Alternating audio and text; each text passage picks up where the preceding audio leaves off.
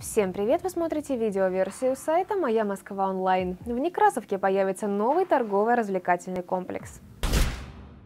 Как сообщает «Вечерняя Москва» со ссылкой на слова заместителя мэра Москвы по вопросам экономической политики и имущественно-земельных отношений Владимира Ефимова, сумма сделки за аренду участка 7 миллионов рублей. Инвестор должен возвести торгово-развлекательный комплекс, площадь которого составит 36,5 тысяч квадратных метров. Отмечается, что в состав комплекса войдут торговые точки, кинотеатры, рестораны и кафе, а также автостоянка для посетителей. Договор аренды с инвестором заключат на 7 лет. Строительство комплекса, не превышающего высоту 20 метров, должно закончиться по истечении срока договора аренды.